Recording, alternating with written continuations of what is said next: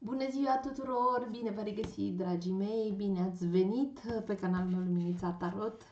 Voi face o etalare pentru luna aprilie, zodia Berbec, luna sau ascendent în zodia Berbec, cu tarotul, voi clarifica cu alte oracole. Dragii mei, înainte de toate vreau să vă mulțumesc că îmi sunteți alături. Am trecut de pragul de 10.000 de înscriși. Vă mulțumesc că mi-ați m-ați susținut în, acest, în, ultimul, în ultima perioadă. Vă îmbrățișez și Dumnezeu să vă protejeze pașii și de acum înainte să fie alături de voi în ceea ce vă doriți dumneavoastră, în ce privește speranțele voastre, nu? Haideți să vedem ce fel de energii vor fi în această lună aprilie pentru voi. Uh, și dacă nu v-ați înscris la canal, vă recomand să o faceți, pentru că în acest mod noi ne vom conecta energetic pentru a primi răspunsuri din partea tarotului, din partea oracolelor, din partea îngerilor, în etalările viitoare. Haideți să vedem, luna, intra, uh, luna, soarele, luna, acum este lună plină în zodia balanță, Uh, voi sunteți în zodia berbec, deci e nevoie de a fi echilibrați, de a vă regăsi echilibru, pentru că, cum știți și dumneavoastră, uneori vă aruncați așa cu capul înainte și zodia balanță acum uh, are menirea de a ne aduce pe toți pe făgașul cel bun, uh, pe strada cea bună a noastră și are treabă cu relațiile în general. Da? Deci acolo trebuie să fim imparțiali, să fim obiectivi, să mm, fim echilibrați în ce privesc relațiile cu cei din jur. Mm, este un an 8, cum bine știți, și acest lucru vorbește și despre justiție, despre justiție în general, despre karmă, despre justiția divină, uh, despre mm, cum să fim, uh, cum să zic eu, cum să fim atenți în ce privesc alegerile noastre, pentru că alegerile noastre de zi cu zi uh, aduce cu ele și anumite consecințe, da? Uh, cu anumite responsabilități în bine și în rău, deci să fim atenți în ce privesc alegerile noastre. Mm, deci e nevoie de echilibru, da? Pentru că nu este o perioadă ușoară pentru nimeni. Am observat, uh, pentru toți în jurul meu am văzut că este o perioadă un pic mai uh, dificilă, să spunem așa, și dar uh, nu uitați, chiar dacă este în cel mai bun, în cel mai rău caz, dacă e dificil acest, acest moment, este cumenirea pentru a ne deschide ochii pentru a înțelege unde trebuie să lucrăm, unde trebuie să vindecăm. Ehm, chiar dacă uneori luăm câte o palmă din partea divinității, ehm, bineînțeles că divinitatea lucrează și prin oameni uneori, mm, și dacă luăm vreo palmă e pentru cumenirea de a ne face mai puternici, de a ne vindeca rănile, să spunem așa. Haideți să vedem luna aprilie, cum va fi pentru voi, dragii mei berbeci, luna sau ascendent în zodia berbec, pentru toți cei care mă susțin, pentru cei care mă urmăresc, pentru cei care s-au abonat la canalul meu. Cum va fi luna aprilie? Cum va fi această lună aprilie? Ce evenimente, surprize vor fi în viața dumneavoastră? Haideți să vedem. Mulțumesc! Aici îmi spune să-ți deschizi inima, îndrăgostiții. Îmi spune să-ți deschizi inima în ce privește relațiile cu cei din jur, despre ce am vorbit, să-ți urmezi inima, să-ți urmezi pasiunile, ă, să-ți urmezi sentimentele în ce privești colaborările cu cei din jur, parteneriatele, pentru că acolo ai trecut prin anumite dezechilibre, prin anumite probleme care ți-au dat bătăi de cap, da? Așa acum cred că va trebui să faci alegeri și nu uita în primul rând, în ce privesc aceste alegeri, este vorba despre tine. În primul rând să te alegi pe tine. Da? Aici văd că e posibil să faci alegeri cu partenerul, partenera, să comunici. Um, văd că va fi împăcare în relația ta, vindecare pe plan sentimental în ce privește relația ta. Văd că vei face parteneriate sau colaborări cu persoane cu, cu care aveți aceleași pasiuni Deci este momentul oportun, da, și văd că mm, aștepți această experiență emoțională de mult timp. Um, văd că te vei bucura. Uh, văd că mm, relația ta va deveni din ce în ce mai puternică și văd și că alegeri vei face cu partenerul, partenera ta. Ți se spune să-ți deschizi inima, pentru că acolo mm, ai avut o, anumite probleme Mm, ai fost mai reținut, mai reținută, te-ai retras. Uh, uite, Cavalerul de Bețe, o nouă aventură. Unii dintre voi veți cunoaște partenerul sau partenera, mm, iubitul sau iubita sau acea persoană pe care o așteptați de multă vreme. Văd o nouă aventură uh, în ce privește, văd că veți pleca la drum cu uh, o persoană în special uh, sau un partener, un colaborator sau o persoană iubită. Uh, Văd că veți pleca într-o nouă aventură și chiar o, nouă, o noutate în ce privește munca dumneavoastră, în ce privește creativitatea dumneavoastră, care a atras atenția, poate cu persoane de la drum, de peste hotare. Și văd că sunteți foarte nerăbdători să învățați ceva sau să începeți ceva. Uh, chiar dacă veți fi neîncrezător, vi se spune să vă aruncați așa cu capul înainte, așa cum vă place vouă și Văd că veți fi foarte entuziasmați sau fascinați de viață și de, de dorința de a încerca totul. Deci văd că în această lună aprilie începe bine pentru voi, dragii mei. Veți avea mai mult chef de viață, veți avea mai multă putere, mai multă energie, mai mult entuziasm, mai multă nerăbdare pentru a încerca orice, nu? De a vă pune în joc. Uh, și aici văd uh, pajul de cupe îmi spune că te, viitorul te va, îți va rezerva flori, mesaje romantice, scrisori sau văd că pe cineva va fi mai atent, mai prezent în ce privește viața ta, mai atent cu tine. Poate vei propune, nu știu, în luna august, uh, iunie-august, uh, veți lua decizii cu partenerul sau partenera să vă căsătoriți sau să vă lăugodiți sau veți auzi sau va trebui să comunicați cu persoane de la distanță pentru o logodnă, pentru o căsătorie a un, unui cuplu, cu persoane din uh, trecutul dumneavoastră? Și văd că veți visa, veți fi mai sensibil și um, chiar uh, văd că veți fi mai, uh, cum să zic eu, unii dintre voi veți fi foarte creativi, um, veți fi mai profunzi, Haideți să vedem și văd că veți intra în legătură cu persoane semn de apă, rac, scorpion, pești, gemeni, uh, semne de foc, bineînțeles, berbechilul săgetător ca dumneavoastră, șaptele de bețe. Aveți grijă că um, există aici o persoană în jurul dumneavoastră care vă poate înșela așteptările, vă poate dezamăgi. Există aici o persoană care va profita de bunătatea dumneavoastră care, nu știu, ori vă va manipula, ori vă va minți, ori vă va fura.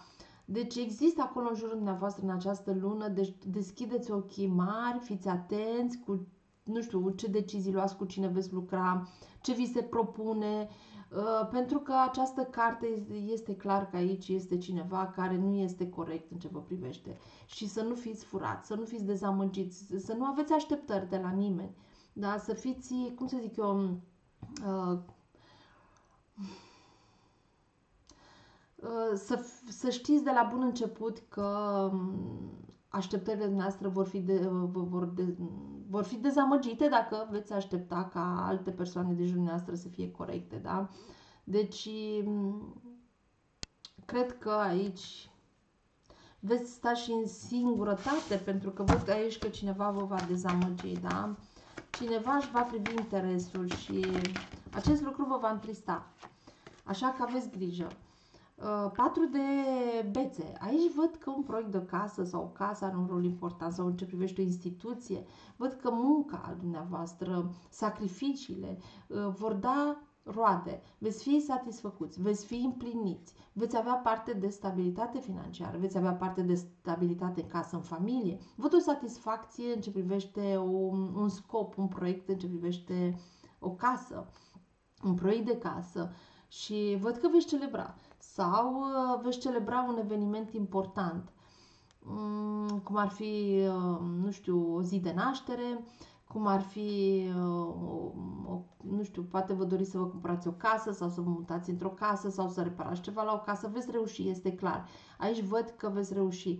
Uh, sau văd că um, vă doriți un copil, unii dintre voi, da? Și un, văd aici sunt și persoane care se pot autosabota, care um, să văd că um, sunt persoane care în momentul de față se uită sau se gândesc la aspectul financiar, că nu este momentul oportun și dar văd că veți reuși până la urmă, văd că veți avea parte de o bucurie în casă, în familie.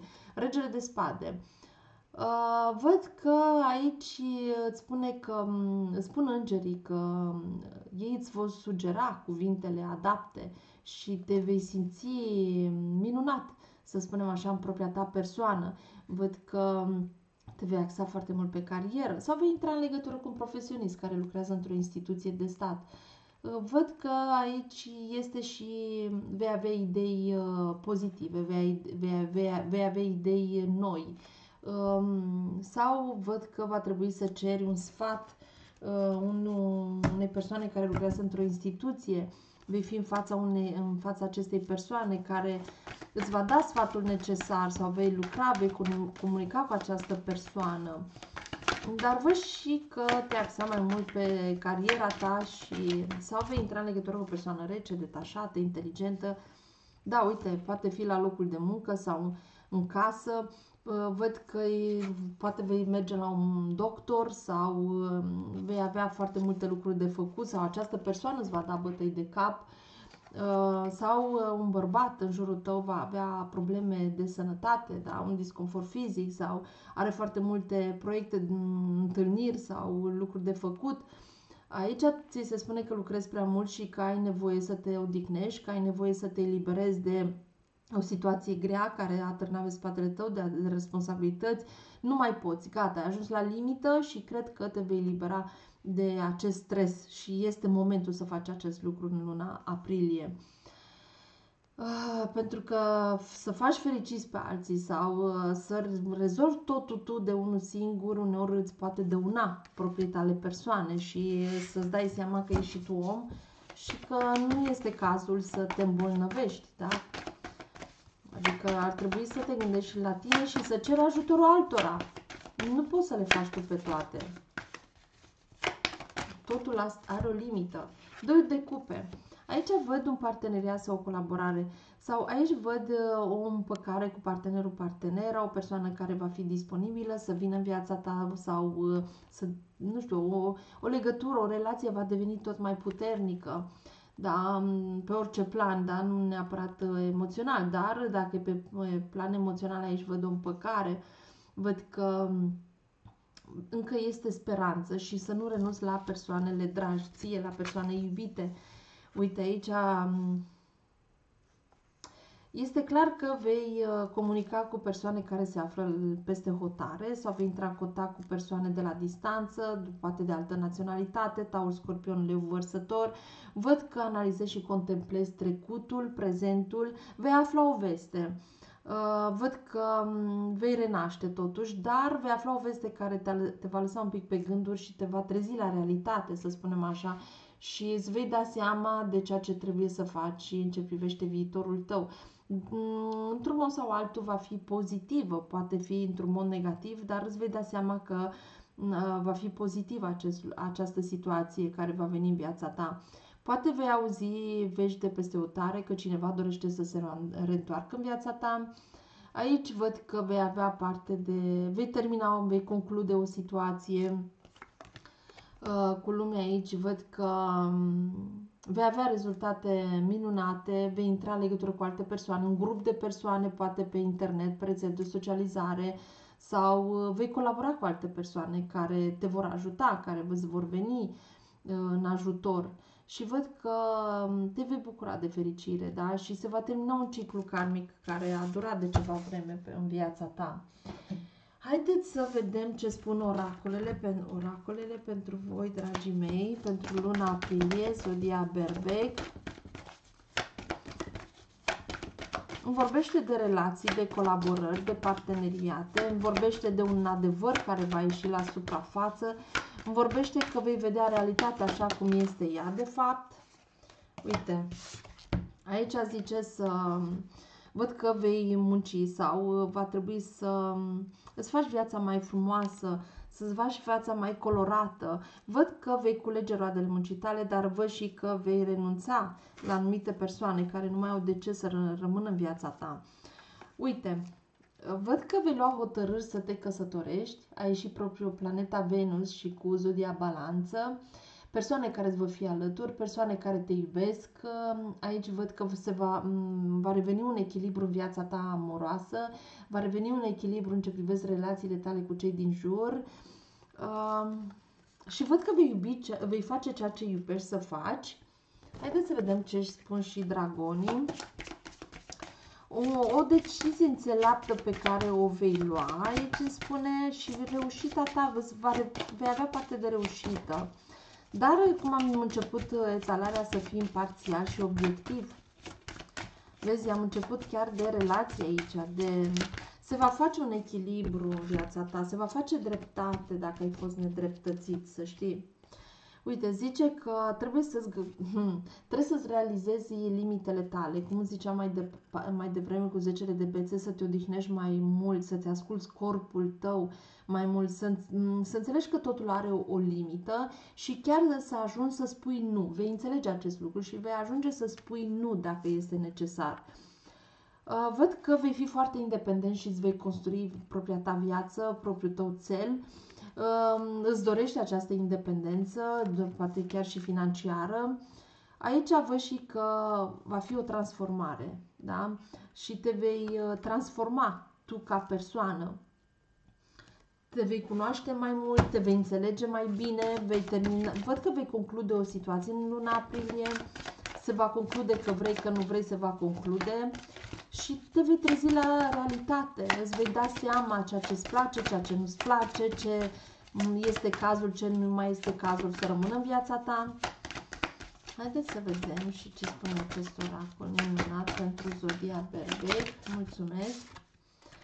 Uite, vei primi o invitație la o nuntă, un botez, cum spuneam, vei primi o invitație de la prieten, poate să ieși undeva, vei primi o invitație la o zi onomastică, uite, vei fi un lider, vei fi un propriu tău șef sau uh, uh, deciziile vor fi în mâinile tale, poate vei avea un rol de lider sau uh, văd aici că ți se spune să-ți folosești și intuiția în ce privește anumite decizii, vei lua decizii, ascultându-ți, bineînțeles, intuiția și studiind, studiind înainte să faci acest lucru. Haideți să vedem. Aici îmi spune că vei fi realiniat cu viața da? și să nu mai controlezi situațiile sau persoanele din jurul tău, să lași să vină de la sine, ești protejat, ești în siguranță, cifra 3 poate are un rol important. Uite, vezi, trebuie să reflectezi, să te vindeci. Văd că vei trece printr-o schimbare spirituală, o transformare spirituală, cum am văzut și mai devreme. Și nu ești singur, vei avea companii, adică vei avea persoane care, parteneri, colaboratori, persoane iubite care îți vor sta alături. Nu vei fi singur în această lună și văd că vei primi generozitate din partea altor persoane sau chiar și tu la rândul tău vei oferi generozitatea. Wow! Și vei fi binecuvântat. Vei primi binecuvântări în această lună aprilie. Haideți să vedem ce numere vor, vor avea o semnificație importantă în această lună. 888. Uh, e momentul ca tu să primești. Ve, uite, infinita abundență va veni la tine din um, din zone cunoscute sau necunoscute, ești o creatură divină și bogată prin dreptul tău de naștere, nu uita niciodată, deschide brațele pentru a primi și Archangelul Rafael zice că e timpul să-ți vindeci inima, să-ți deschizi inima, cum am zis mai devreme. Te, Archangelul Rafael te îmbrățișează cu minunata sa lumină verde și îți va oferi ușurare, corpului tău, sufletului tău. Lasă-te vindeca și ai încredere. Aveți grijă la sănătate, dragii mei, dar oricum Arcangel Rafael este lângă voi, dar trebuie să aveți grijă la sănătatea voastră. Și legea paradoxului, dacă tu nu crezi, atunci cine va crede? Legea paradoxului este la muncă pentru tine, ai încredere în instinctul tău și mm, acționează pentru a obține succesul. Uh, trebuie să ai curajul să riști, viața este un joc, să nu-ți fie frică, destrează-te. Și văd că vei face drumuri. La drum sau um, văd aici că răspunsul la întrebarea ta este un da. În curând vei primi răspunsul uh, care tu îl aștepți și va veni, vei reuși să ajungi acolo unde ți-ai dorit, pentru ce ai muncit. uh, cu foarte mult uh, interes și în sfârșit îți va spune acel mare da la care tu ții foarte mult. Vei petrece. Dragii mei, sper că v-a plăcut această etalare, vă mulțumesc și eu vă aștept data viitoare. Vă doresc o lună minunată, binecuvântată. Doamne ajută, sănătate!